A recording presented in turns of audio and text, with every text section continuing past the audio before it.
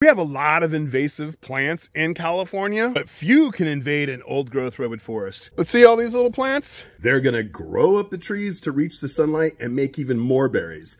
Then once the ivy gets too heavy for the tree, the tree will topple over, but the ivy may survive and send out octopus arms to cover more baby trees until pretty soon all you have is English ivy. It's what we call English ivy desert, and most wildlife can't live in an English ivy desert. Like ivy, most invasive plants need some kind of disturbance. And since 1850, we've had a lot, lot, lot, lot of disturbance in California's landscapes. Invasive plants slowly kill off the native plants, the host plants, that lots and lots of insects depend on. And insects are like the plankton of the land. So without those insects, you don't have a lot of other creatures. I mean, you're always going to, there's always going to be plenty of mosquitoes, but you won't have the butterflies and moths that have to lay their eggs on specific plants. Think monarch and milkweed. Lots of butterflies and moths are like that.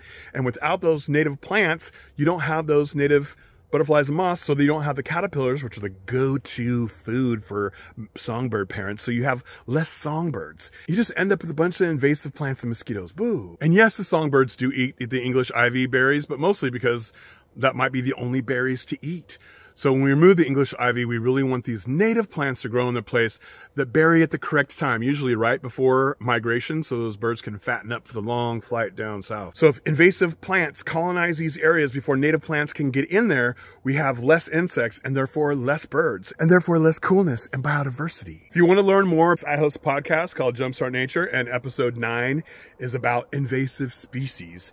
I hope you check it out. It can be downloaded anywhere where you get your podcasts. Follow us.